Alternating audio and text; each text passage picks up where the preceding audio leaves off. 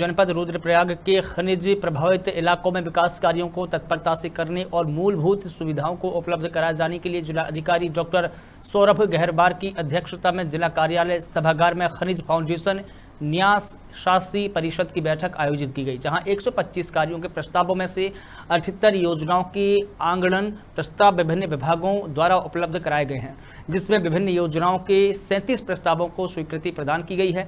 कई योजनाओं पर खंड विकास अधिकारियों को पुनर्निरीक्षण कर आख्या उपलब्ध कराने के भी निर्देश दिए गए हैं। उन्होंने खंड विकास अधिकारियों और संबंधित अधिकारियों को निर्देश दिए हैं कि योजनाओं को दोबारा निरीक्षण किया जाए और योजनाओं का एक सप्ताह के भीतर निरीक्षण कर फोटोग्राफ समेत आख्या उपलब्ध कराना सुनिश्चित करें ताकि योजनाओं के लिए धनराशि निर्गत की जा सके।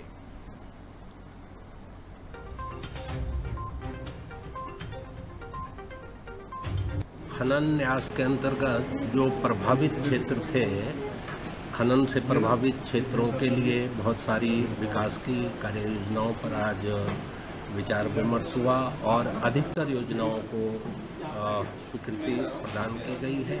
कुछ योजनाएँ हैं जिनमें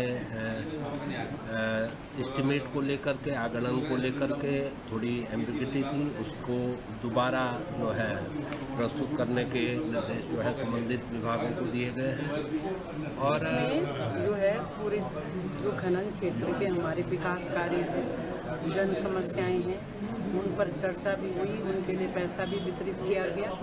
और बहुत अच्छा ये कार्य योजना है। इसमें वहाँ उस क्षेत्र के संबंधित प्रधानों को भी बुलाया गया।